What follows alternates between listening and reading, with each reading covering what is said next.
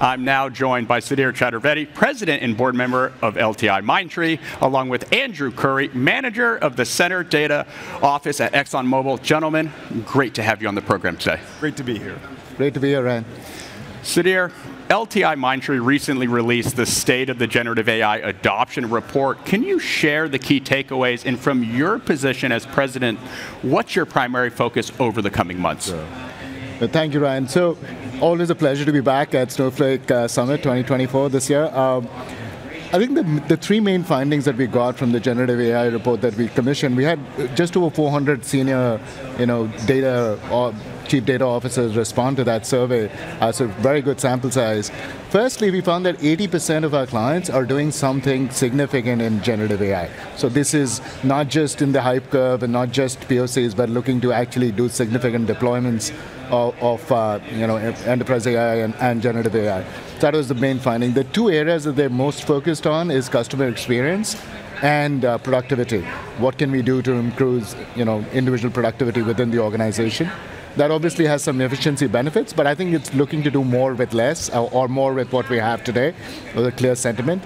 And the third thing was that the concerns around AI were, are also very significant. So three out of four of our clients will, you know, still feel that there is work to be done from an ethical uh, data trust perspective or data quality perspective, and frankly, even a cost perspective now, you know, because we charge these uh, large language models charge you based on tokens, and you know, you need to be careful about how you, you essentially, you know, budget for these and spend money. So those are the three main findings that came out. And for us, from a you know, where we are focused on, I think the first thing is, you know, I'm, Snowflake has been one of our biggest partnerships in the data space, and it is now one of our biggest partnerships in the AI space. So very, uh, you know, happy to see the AI Data Cloud coming through. We were one of the first companies to launch a PolarSled with Arctic, you know, which is PolarSled is now a Gen AI. So it's a migration tool, should help to, you know, migrate workloads much faster. The other area that we're looking at with, uh, again, uh, in partnership with Snowflake is to see how you know we drive more consumption, industry level consumption. So we're using our industry expertise to drive consumption because that's ultimately the industry use cases, the some of the work that we're doing with Andrew and, and team. And this is, I think that's that's a clear focus of ours to bring uh, you know higher consumption. And the last thing that I would add is that we have, uh, you know, if you look at the partnership ecosystem that we have uh, along with, uh, so I'll pick up NVIDIA as an example. So we did a tripartite meeting with NVIDIA, LTI Mindtree, and Snowflake together, looking to see how we can, you know, provide joint solutions to our clients. So multifaceted approach, uh, you know, in terms of how we address some of the requirements that our clients are talking about. But Snowflake is right at the center of it. Thank you, Sudhir. Very much the power of the broader AI data cloud ecosystem.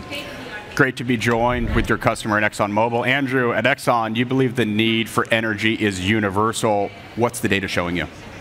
Yeah, I think the data showing us there's a lot of possibilities and there's a lot of potential. We're, we're taking a very careful, I'll say, centralization strategy. We're trying to bring more data together in a single place and really to leverage the full corporate scale of ExxonMobil. We're a Fortune 5 company, we're large, and we want to make sure we're not doing small bets. We want to make, say, what are those big opportunities? And to have those big opportunities, you have to start bringing more and more of that data together, break down those data silos. So our AI strategy is highly centered around our data strategy as well. You can't have an AI strategy without that data strategy as well. So really working with Snowflake as one of those central pieces of our data ecosystem to bring that data together.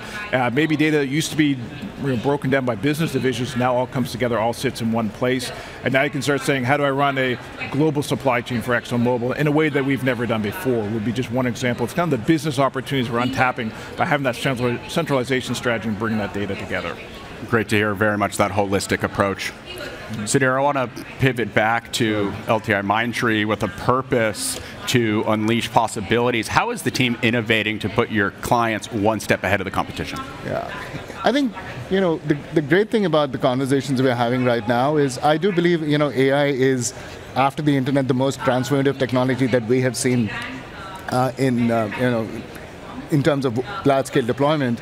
And uh, I think clients now, both businesses and IT, are looking at three areas in our experience. First is they're looking at how we can generate more revenue with you know existing assets. Uh, so you know a lot of our clients are looking at monetizing their data assets. Uh, you know, in fact, I met a few here who want to launch their own data products as well.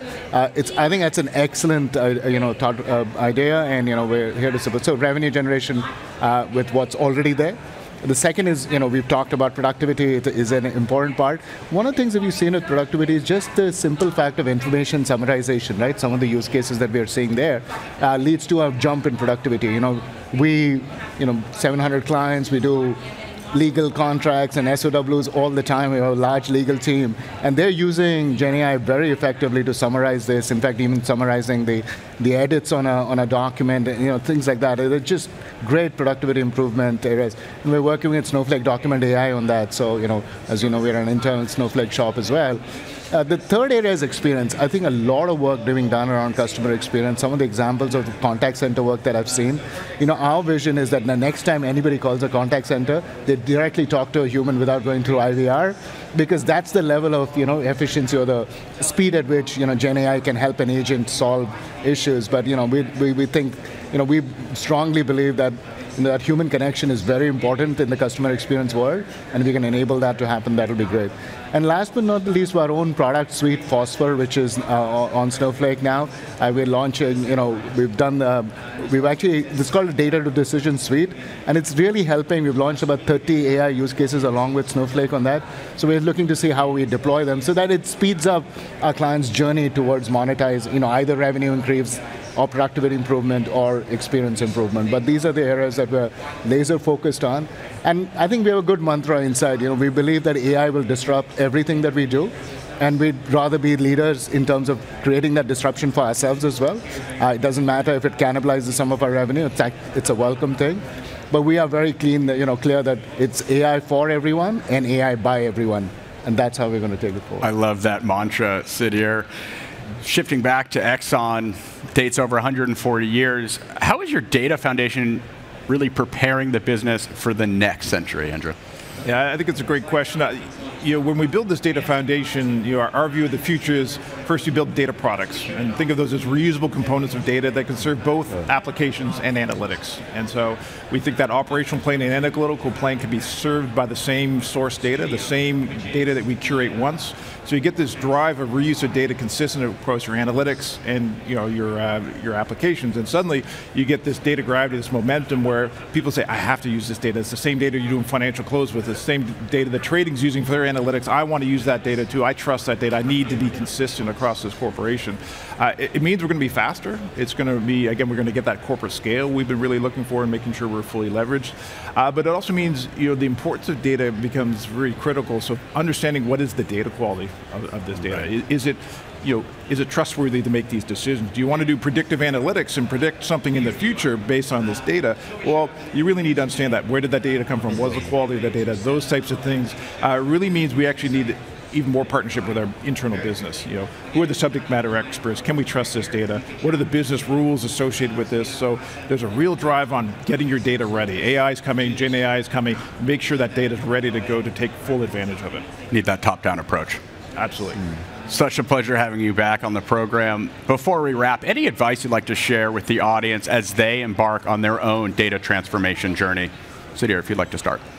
I think you know, uh, you know, data as a strategic asset is now well understood by everybody, and I think I'll just underscore some of the points that Andrew was just making. That I think you know, creating the, the strongest possible data foundation is still the most critical step to take. You know, all Gen AI requires is that strong data foundation. So you need a strong data foundation, strong Gen AI foundation, and I, I think that you know, time and energy spent on that is very, very well spent. The other thing I would say is that AI scaling. I think it's extremely important. Uh, we've just we've trained just over 40,000 people already on AI.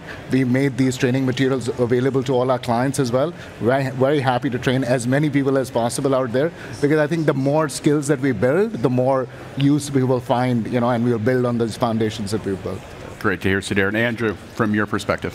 No, I, I, would actually fully agree with that. I think you know data literacy and AI literacy is becoming critically important, and I think uh, you know the business is starting to pick up that, that language. And you know sometimes the danger is they're using the language improperly, and you can get confusion and, and different things. So you know starting to upskill your organization where they can understand what we're talking about with data, and also upskilling our data organizations so they understand the business, and that kind of bringing that together to make things work is critically important. So I think there's a real onus on us as a central data office to make sure that that data literacy, that AI literacy is growing throughout the corporation. So a real critical key for our success. Great to hear, gentlemen. Thank you so much. Great to have Exxon and LTI Mindtree on Data Cloud now. Thanks again. Thank you. Thank you very much. And for the audience watching, I'm Ryan Green, and this is Data Cloud Now.